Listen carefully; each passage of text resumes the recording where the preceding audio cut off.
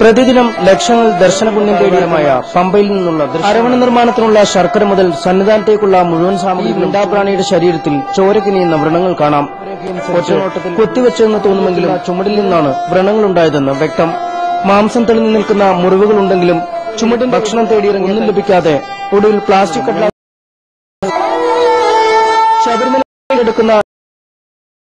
Q കോംപ്ലക്സും കുടിവെള്ളവും ആരോമൊക്കെ ഏറെയുണ്ടെങ്കിലും ഈ കഴുതകളുടെ ശാപം ഭരണാധികാരികളെ വിടാതെ പിടികൂടുമെന്ന്